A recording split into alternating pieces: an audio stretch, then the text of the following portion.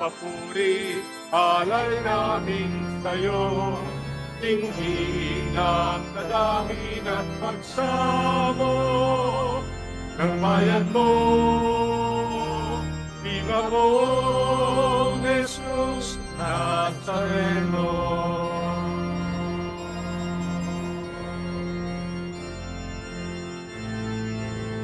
Tayo ngayon ay magtipon at sambahin ang poon. Magdiwang tayo sa ating debosyon, purihin ang Panginoon. Viva mo, Jesus Nazareno, awit at papuri, alay namin sa'yo.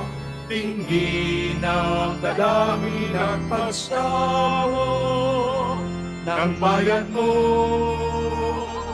Viva mo, Jesus Nazareno.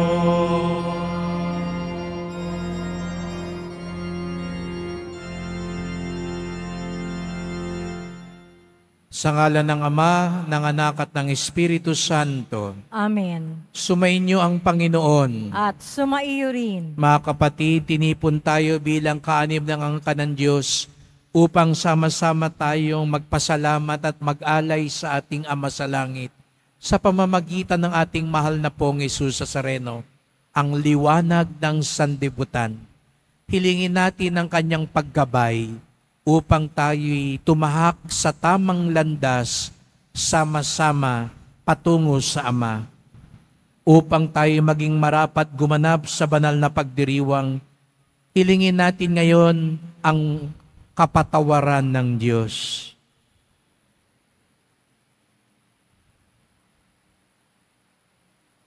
Sinugong tagapagpagaling sa mga nagsisisi, Panginoon, kaawaan mo kami. Panginoon, kaawaan mo kami. Dumating na tagapag-anyayang mga makasalanan ay magsisi, Kristo, kaawaan mo kami. Kristo, kaawaan mo kami. nakaluklok ka sa kanan ng Diyos Ama para ipamagitan kami. Panginoon, kawan mo kami. Panginoon, kaawaan mo kami. Kawan tayo ng makapangyarihan Diyos.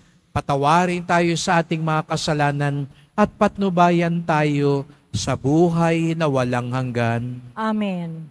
Manalangin tayo.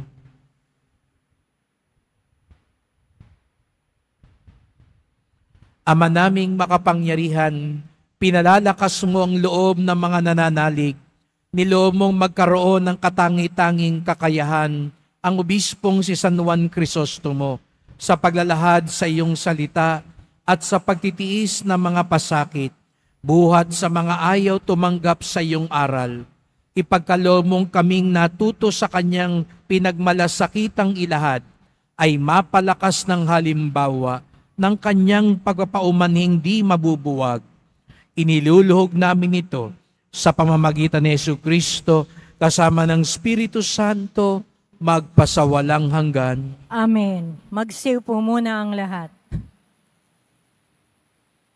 Pagbasa mula sa unang sulat ni Apostol San Pablo sa mga taga-Korinto. Mga kapatid, hindi ngayon nangaral ako ng mabuting balita ay maari na akong magmalaki. Iyan ang tungkuling inaatang sa akin sa aba ko. Kung hindi ko ipangaral ang mabuting balita, kung ginagawa ko ito sa sarili kong kalooban, ako'y may gantimpalang hihintayin. Ngunit ginagawa ko ito bilang pagtupad sa tungkuling sapagkat ito'y ipinagkatiwala sa akin. Ano ngayon ang aking gantimpala?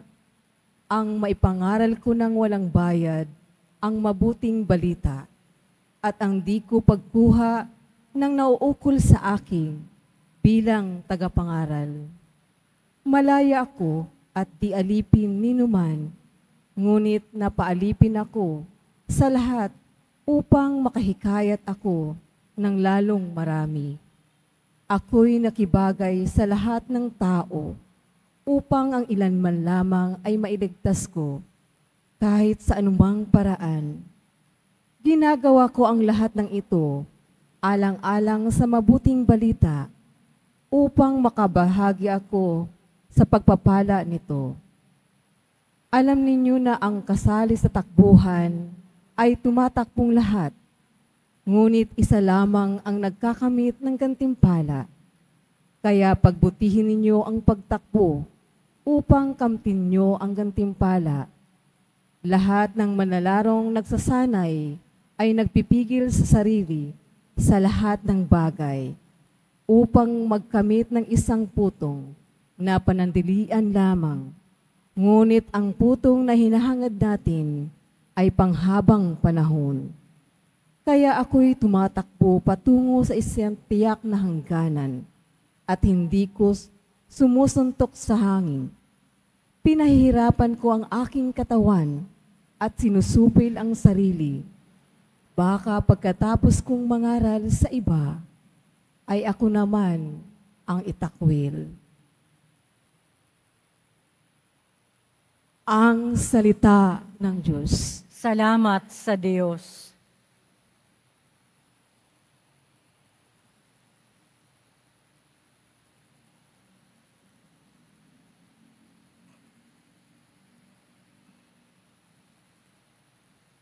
Ang templo mo'y aking mahal, Diyos na makapangyarihan. Ang templo mo'y aking mahal, Diyos na makapangyarihan. Nasasabik ang lingkod mo, sa patio mo ay pumasok. Ang buo kong pagkatao'y umaawit na may lugod. Sa masayang pag-awit ko'y pinupuri buhay na Diyos. Ang templo mo'y aking mahal, Diyos na makapangyarihan. Panginoon, sa templo mo, mga maya'y nagpupugad. Maging ibong layang-laya, sa templo mo ay nagagala. May inaakay na kalinga sa tabi ng iyong altar. O poon, hari namin, at Diyos na walang kupas. Ang templo mo'y aking mahal, Diyos na makapangyarihan. Mapalad na masasabi, silang dooy tumatahan at palaging umaawit, nagpupuring walang hanggan. Ang sayo'y umaasa, masasabing mapalad din. Silang mga naghahangad na sa siyo'y makarating. Ang templo mo'y aking mahal, Diyos na makapangyarihan. Ikaw ang haring dakila, ang tunay naming sanggalang. Kami pinagpapala mo sa pag-ibig mo at dangal. Hindi siya nagkakait na mabuting mga bagay sa sinong mga anggawain ay matuwid at marangal. Ang templo mo'y aking mahal, Diyos na makapangyarihan. Magsitayo na po ang lahat.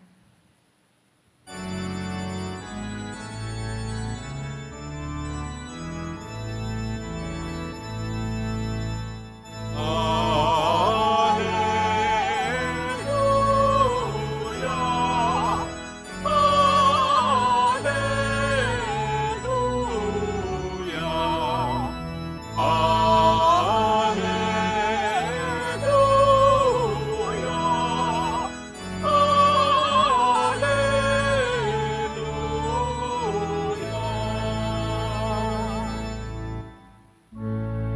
Amang Diyos ni Jesu Kristo,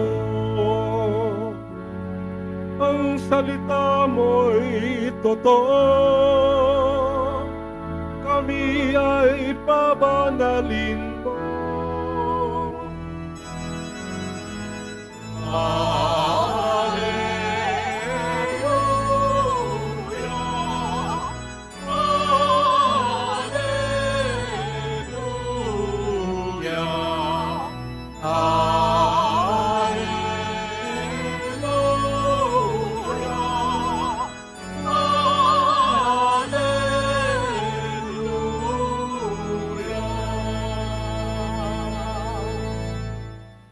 Sumainyo ang Panginoon. At sumaiyo rin. Ang mabuting balita ng Panginoon ayon kay San Lucas. Papuri sa iyo, Panginoon. Noong panahong iyon, tinanong ni Jesus ang kanyang mga alagad ng patalinghaga, Maaari bang maging taga-akay ng bulag ang isa ring bulag? Kapwa sila mauhulog sa hukay, kaya ginawa ang gayon. Walang alagad na higit sa kanyang guro, ngunit kapag lubusang naturuan, siya'y magiging katulad ng kanyang guro. Ang tinitingnan mo'y ang puwing ng iyong kapatid, ngunit hindi mo pinapansin ang tahilan sa iyong mga mata paano mo masasabi sa iyong kapatid, Kapatid, bayaan mong alisin ko ang iyong puwing, gayong hindi mo nakikita ang tahilang nais sa iyong mga mata. Mapagpaimbabaw, alisin mo muna ang tahilan sa iyong mata at makakakita kang mabuti, sa gayoy maalis mo ang puwing ng iyong kapatid.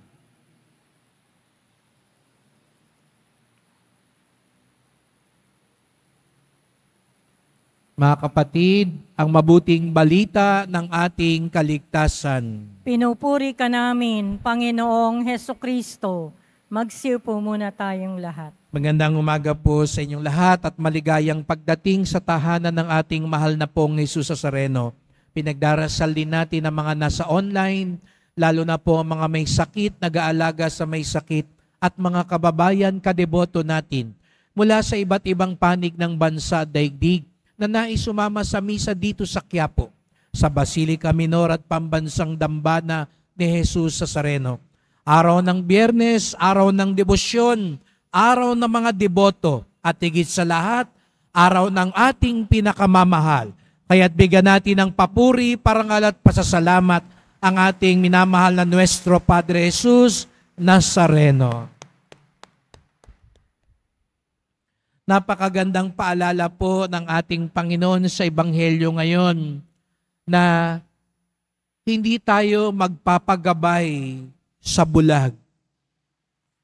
Kapag ang bulag ang umakay sa kapwa bulag, hindi makararating sa patutunguan at baka madisgrasya. Kaya napakahalaga maging malinaw hindi lang ang mata, kung hindi ang pananaw sa buhay. Alam niyo mga kapatid, napakatalino ng Diyos nang nilikha niya tayo. Sapagkat kung susuriin niyo po, bawat bahagi ng ating katawan may dahilan. Kaya yan nandyan. Sabi nga po nung isang tagapagsalita, yung kilay na yan. Alam nyo ba bakit nandyan ang kilay? Bakit tayo may kilay? Para daw pag pinagpapawisan ka, pag bumagsak yung pawis mo, kaya nga may kilay na ganyan, haharangin yung pawis para gumilid, para hindi diretsyon tumama sa mata. Yung pala ang kilay. Para harangin yung luha at pawis, para hindi tumama agad sa mata. Yung nga lang, iba naman kasi sa inyo, tinatanggal nyo yung kilay nyo, Ayan, diretso tuloy ang bagsak ng pawis. Napupuwing tuloy yung mata ninyo. Kasi guhit na lang ang natira, nawala na yung kilay. Bakit daw dalawa ang tainga, isa ang bibig? Kasi mas pinapahalaga ng Diyos, mas importante daw ang makinig. Mas dalasan mo ang pakikinig kaya nga, magkabilang gilid yan para mas marami ang masagap sapagkat mas mahalaga ang makinig bago magsalita. Bakit nagkakaroon ng maraming problema sa atin ngayon? Madalang ang makinig, mas madalas ang salita. Kaya ang ingay-ingay ng mundo, salita ng salita, hindi nakikinig. Nung isang gabi po, pinagninilayan ko ang ating mga mata. Bakit ba nandito ang mata?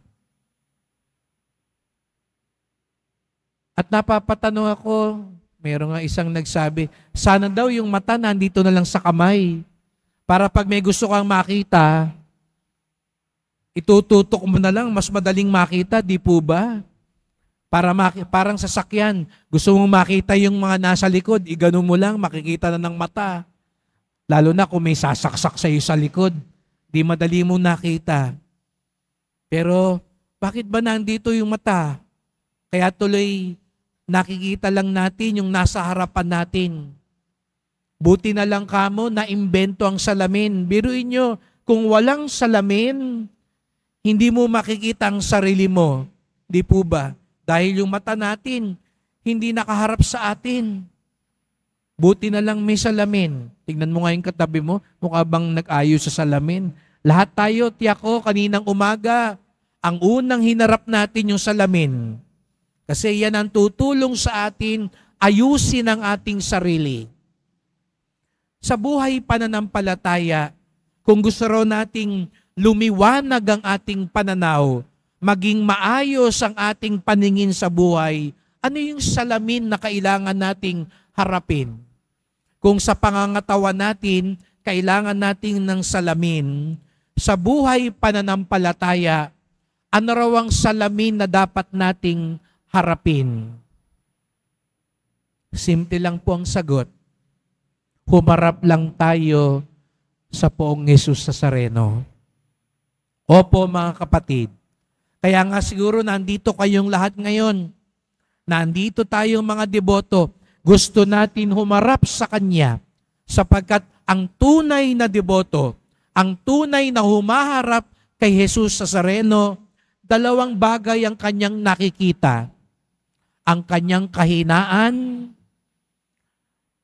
at ang awa ng Diyos. Opo mga kapatid, kapag nakikita natin ang poong Nazareno, sana maalala natin ang pangangailangan natin sa awa ng Diyos. Sana pag napapatingin tayo sa poong Nazareno, napapadagok ang ating dibdib at napapagsisi tayo sa ating mga kasalanan. Kaya nga kanina, nung umpisa ng misa, ano yung unang dasal natin? Panginoon, kaawaan mo kami. Kristo, kaawaan mo kami. Panginoon, kaawaan mo kami. Inaamin natin, may kakulangan tayo, may kapintasan tayo, may kalabisan tayo. Bakit? Kapag inaamin natin lagi ito, mas magiging maayos ang pagtingin natin sa ating kapwa. Hindi tayo magiging mapagmataas. Hindi tayo magiging mapanghusga. Hindi tayo magiging mapagmalinis. Sapagkat humaharap lagi muna tayo sa Diyos bago tayo humarap sa ating kapwa. Ito yung babala ng Panginoon ngayon. Bago mo pansinin ang puwing sa iyong kapwa, baka hindi mo napapansin, may mas malaking dumi sa iyong mga mata. At ito yung ating ipagdasal. Makita muna natin ang ating puwing bago ang ating kapwa. Hindi po masamang itama ang ating kapwa. Hindi po masamang ipaalala ang pangangailangang magsisi at magbago ng ating kapwa. Pero wag na wag natin kalilimutan magsimula muna sa ating sarili. At para mangyari yon, lagi tayong humarap sa Diyos. Yun daw ang problema ng mga pariseyo at mga eskriba. Yung mga umaaway kay Jesus sa Sareno. Wala silang ibang makita kung hindi ang kapintasan ng iba. Sana hindi tayo ganon. Baka mamaya pag upo mo pa lang, ay, ang dumi ng suot ng katabi ko. Ay, hindi pantay ang makeup ng katabi ko. Hmm? Ay, yung nando sa kabila, hindi bagay yung suot niya. Ay, yung nando sa likod ko, nakakatakot ang itsura, mukhang snatcher. Madalas tayo at nagmamadali tayong makita ang kapintasan ng iba. Pero kung lagi tayo nakaharap sa Diyos, kung taimtim ang paghaharap natin sa Pong Nazareno, maaalala natin ang unang may pagkukulang tayo. Ang unang kailangan magbago tayo. Alam nyo, di lang minsan may lalapit sa akin pagkatapos ng misa. Kasabi sa akin, Pader, ang ganda ng homily nyo, tamang-tama. Sana tinamaan silang lahat. Sayang, Father, hindi ko na isama yung asawa ko. Sana tinamaan siya ron sa sinabi nyo. Para sa kanya talaga yung sinabi nyo eh. Sayang, hindi ko na isama sa misa. Alam nyo, minsan, di ba, ganun ang pakiramdam natin. Pag mga ganun yung taong lumalapit sa akin, napapangiti lang ako. Kasi sabihin nga nila, sayang, sana tinamaan sila. Gusto ko sanang sabihin, kayo yung pinatatamaan ko, hindi ho siya. Alam nyo po, tuwing naghaharap ako rito sa inyo, ang una kong pinatatamaan, yung sarili ko po. Ang una kong pinariringgan, ang sarili ko po. Sapagkat yun ay isang paraan upang lalo nating maging malinaw ang ating pananaw sa buhay. Kaya sa misa pong ito, ipagdasal natin ang bawat isa. Huwag tayo agad-agad humusga. Huwag tayo agad-agad humatol sa iba. Opo, kailangan nating ipakita ang mali. Kailangan nating paalalahanan ng bawat isa.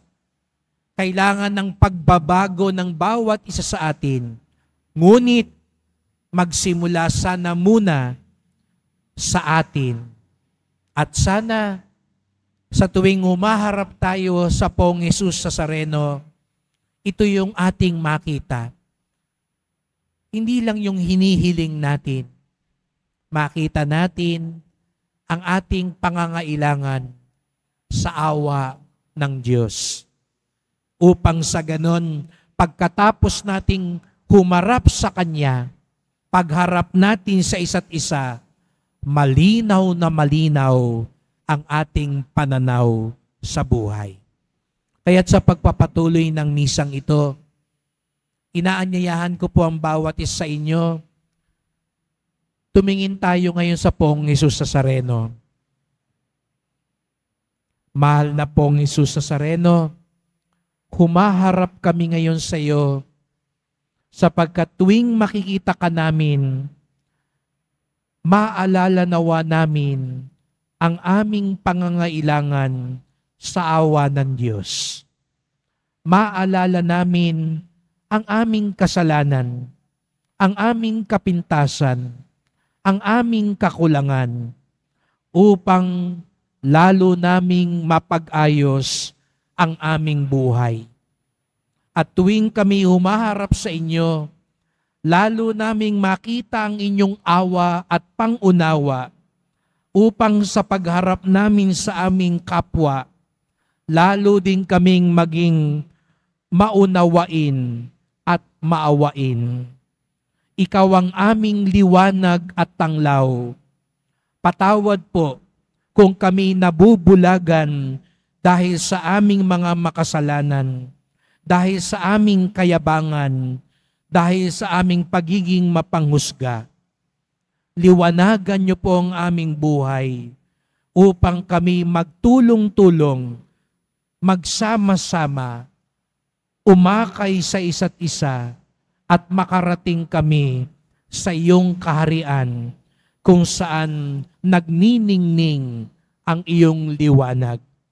Mahal na pong Jesus Nazareno, gabayan niyo po kami, kaawaan niyo po kami, basbasan niyo po kami. Amen. Amen. Magsitayo na po ang lahat.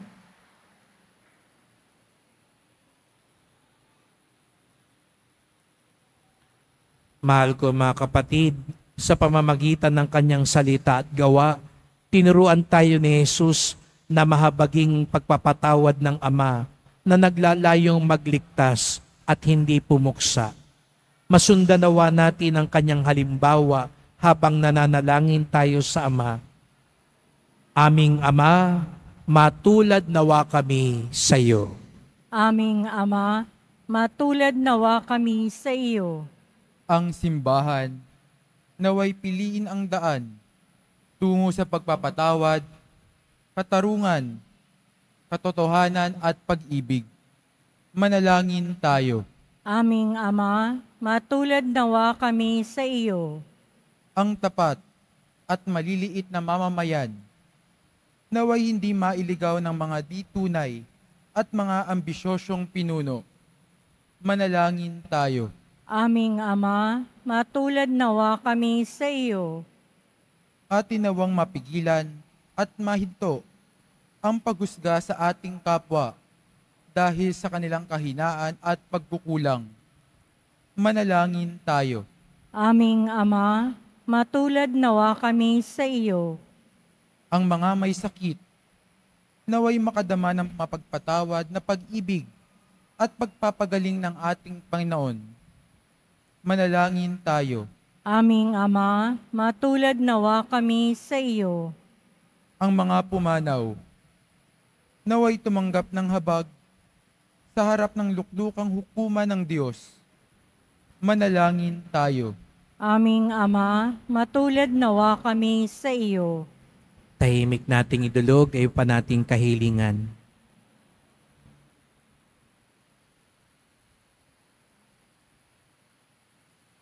Panginoon, buksan mo ang mga mata ng lahat ng tao na nawalay na sa landas ng buhay. Sa iyong biyaya, akayin mo kaming pabalik sa iyo na nagmamahal sa lahat. Hiling namin ito sa ngalan ni Kristong aming Panginoon. Amen. Magsiyo po muna ang lahat.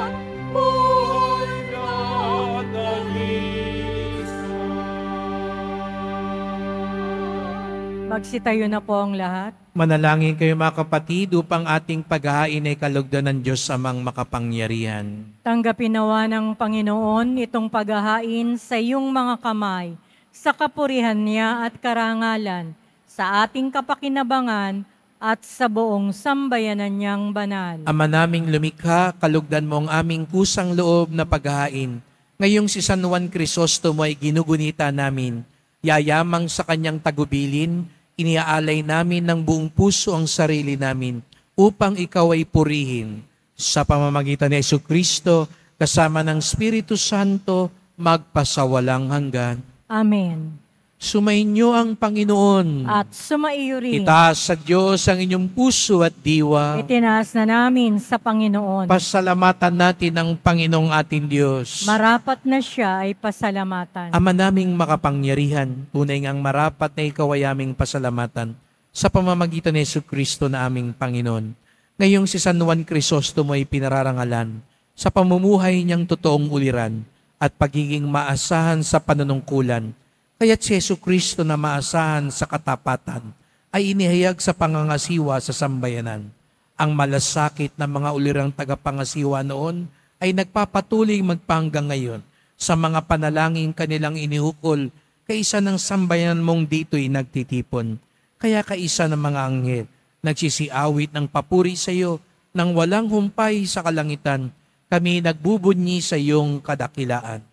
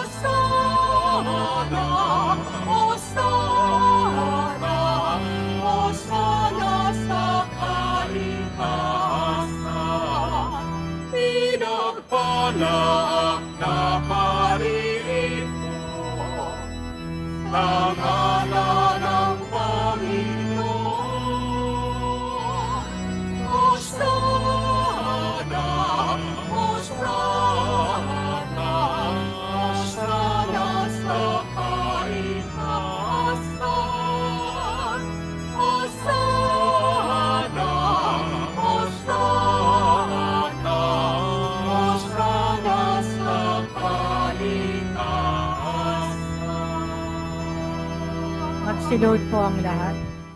Ama naming banal, ikaw ang bukal ng tanang kabanalan.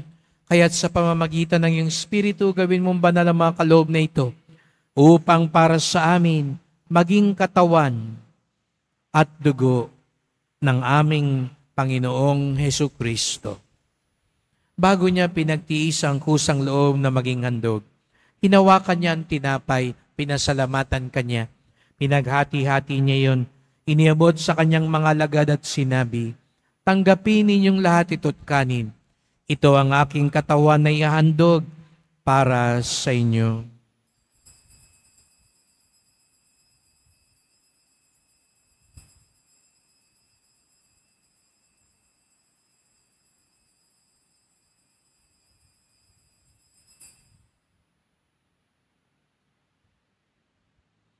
Gayun din naman ang matapos ang apunan, ninawakan niya ang kalis. Muli kanyang pinasalamatan. Iniabot niya ang kalis sa kanyang mga alagad at sinabi, Tanggapin ninyong lahat ito tinumin. Ito ang kalis ng aking dugo, ng bagot walang hanggang tipan. Ang aking dugo na ibubuhos para sa inyo at para sa lahat. Sa kapagpapatawad ng mga kasalanan, gawin niyo ito sa pag-alala sa akin.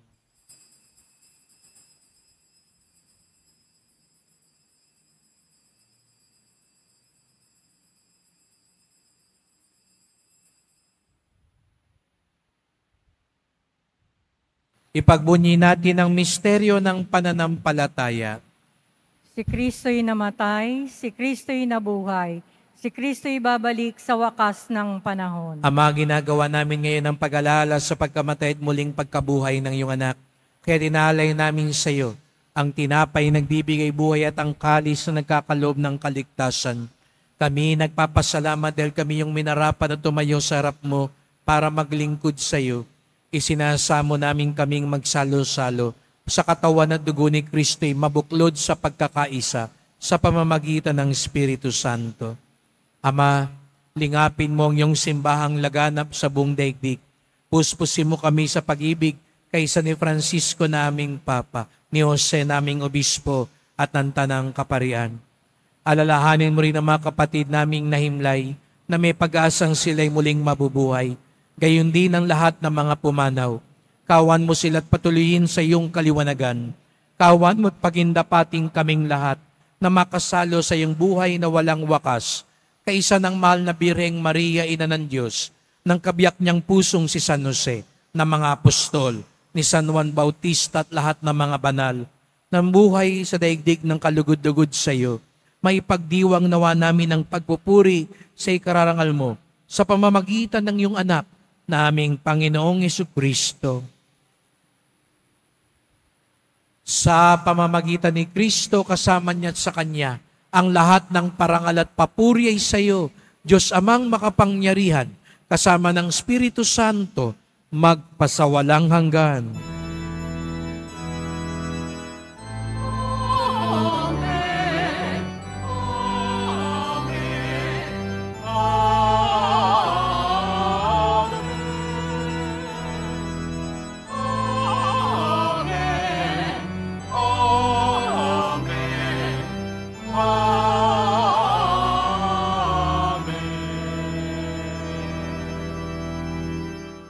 Buong pag-ibig nating awitin ang panalangin itinuro ni Jesus Nazareno sa atin.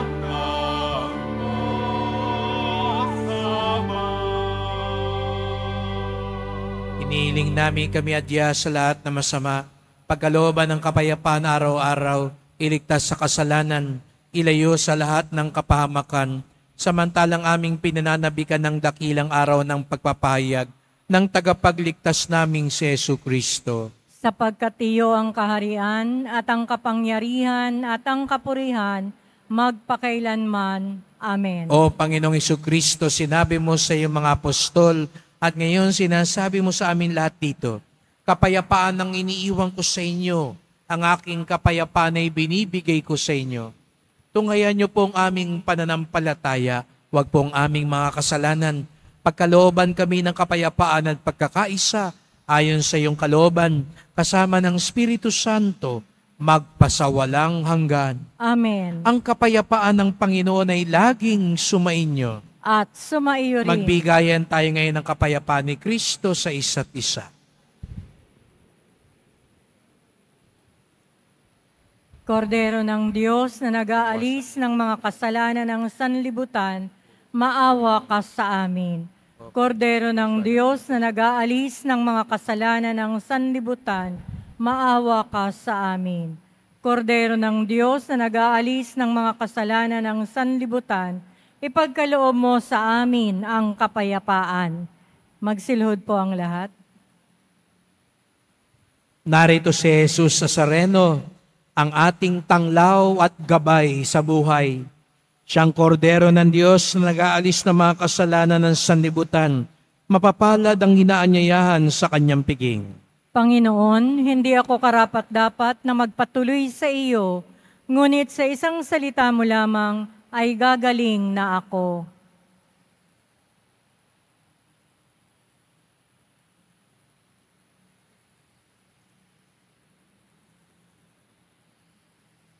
Para sa lahat ng tatanggap ng banal na komunyon, sasagot po tayo ng amen pagkasabi ng pari o ng lay minister ng katawan ni Kristo at isubo agad sa bibig bago umalis sa harapan ng pari o lay minister. Sumunod po tayo.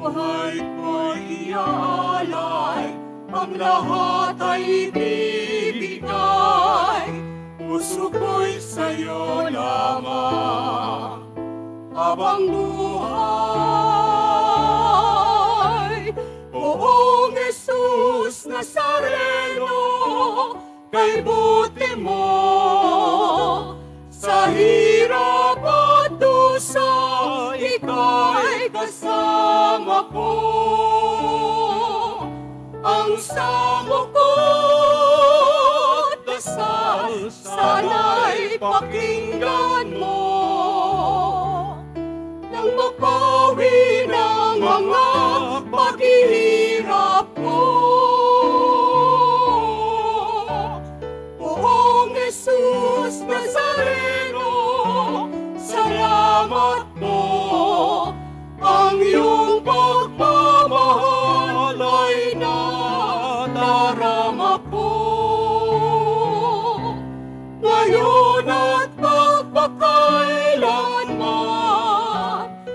ika'y pupurihin ko. Mahal na poong Jesus Nazareno.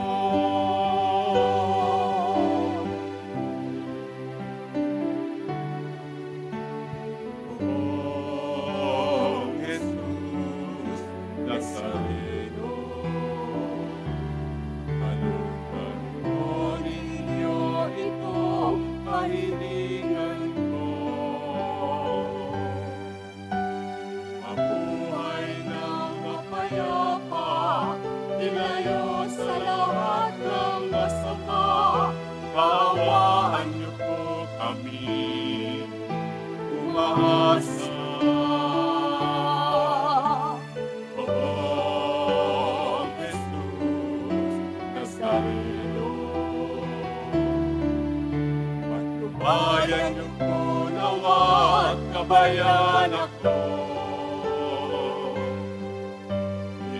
Sa kapahamakan at tiyak na kamatayan. Wag po ninyo kami pababayaan.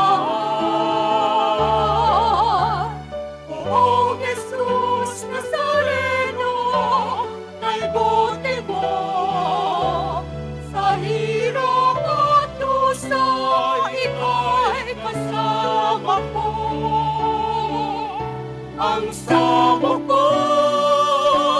dasal sana'y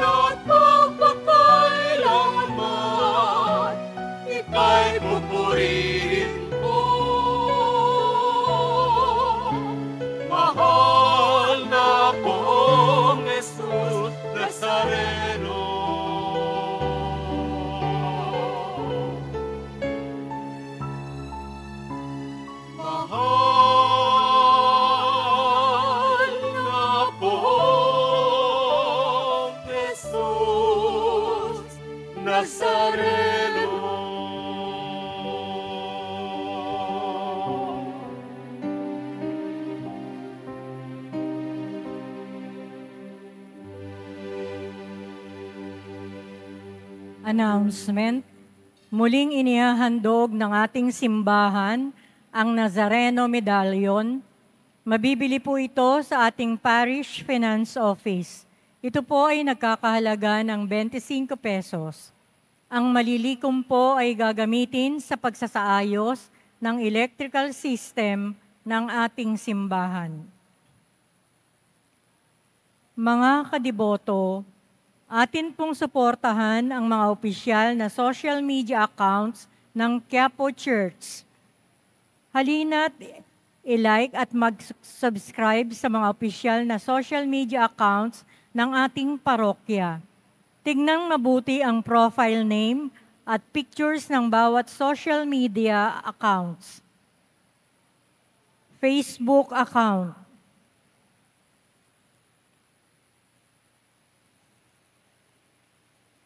YouTube account.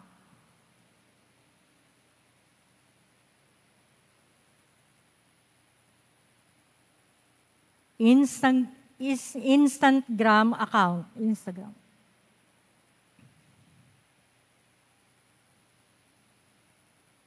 Threads account. X o Twitter account.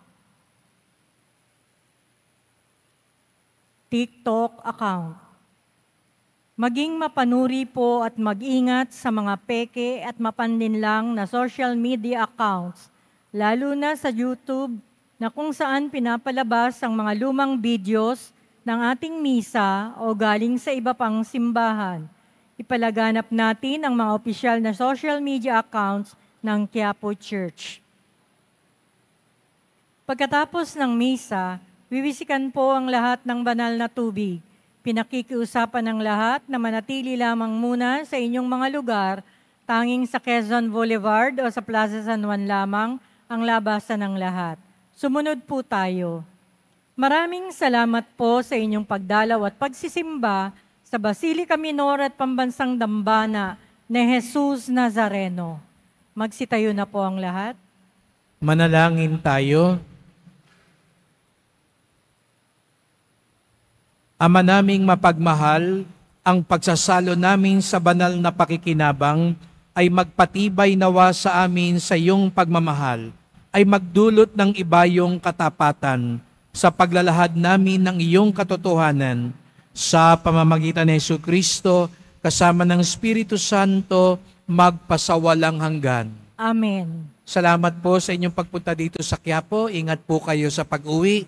Salamat po sa mga naglingkod sa misa at sa inyong tulong sa simbahan. Mga pamisa, love offerings, online donations, sa mga nagdadala po ng bigas, dilata at iba pang pangayuda. Ang ating debosyon sa poong Nazareno ay nagtuturo sa atin magmalasakit at tumulong sa ating kapwa. At lingid na siguro sa kaalaman ng karamihan sa inyo, nung isang biyernes, nung unang biyernes, ay inanunsyo nung kapulungan ng mga liturista sa buong Pilipinas, ayon na rin sa pagsang-ayon ng mga obispo ng Pilipinas na simula sa isang taon, ang Enero a 9 ay hindi lamang piyesta ng Quiapo, hindi lamang piyesta ng Maynila, kung hindi piyesta ng buong Pilipinas, piyesta ng bawat Pilipino para sa ating mahal na pong Jesus sa Sareno. Kaya napakagandang biyaya po na ipinagkaloob sa atin. Kaya saan man tayo naroroon, saan man may Pilipino, kahit nasa ibang dako ng daigdig, maaari nang ipagdiwang ang kapistahan ng mahal na pong Jesus sa Sareno sapagkat sa isang taon, simula sa isang taon, ang Enero a 9 ay pambansang kapistahan. Kaya palakpakan natin ang mahal na pong Jesus sa Sareno.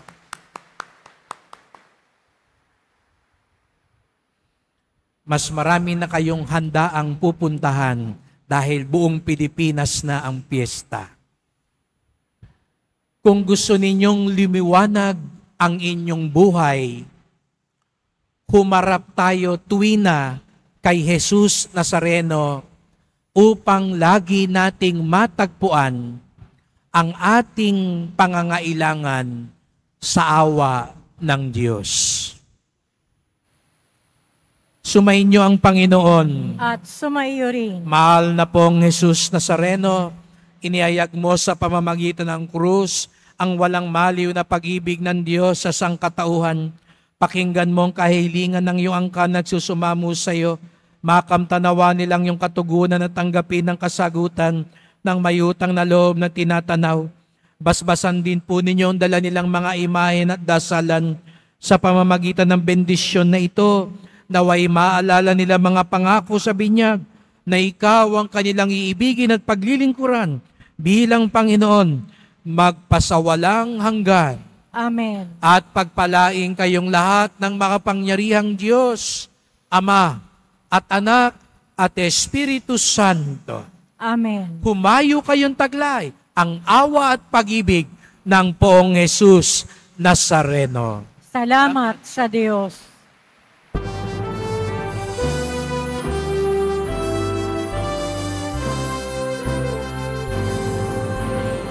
하늘의 두 나사